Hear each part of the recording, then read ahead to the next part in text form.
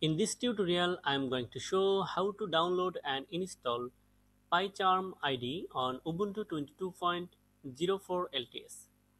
So let's get started. At first, open your favorite web browser and browse this URL jetbrains.com slash PyCharm and then click here. Okay. Now download PyCharm Professional Edition or Community Edition. Community Edition is free for pure Python development. I'm going to download Community Edition. Click here to download. I already have downloaded it on my machine. After a successful download,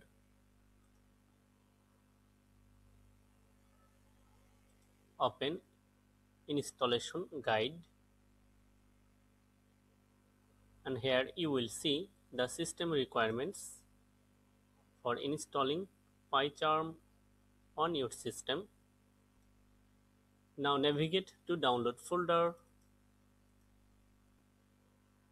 Now extract this archive file and archive manager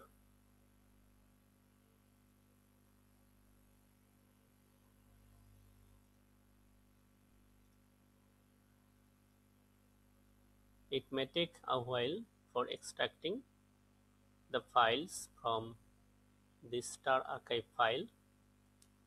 Okay, extraction completed successfully. Now open in terminal and move this extracted file to home directory if you want to install PyCharm for a single user. But if you want to install it for all users of the system, copy to OPT directory. I'm going to install PyCharm for all users.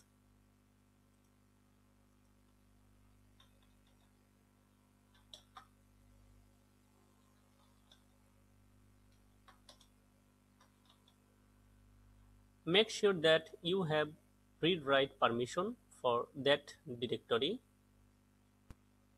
Use sudo privilege before this command. Now hit enter. Now enter password.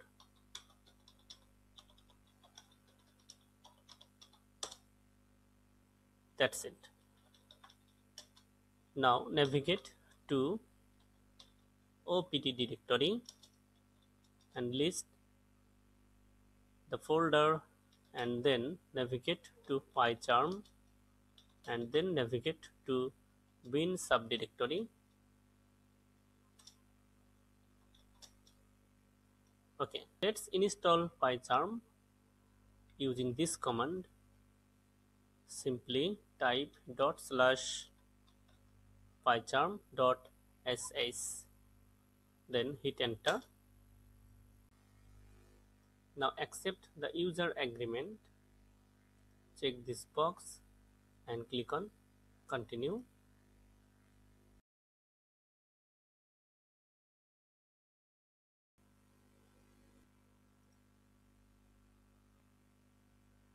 Now click on this gear icon and then click on create desktop entry. Now check this box to create the entry for all users then click on ok. Now enter the password.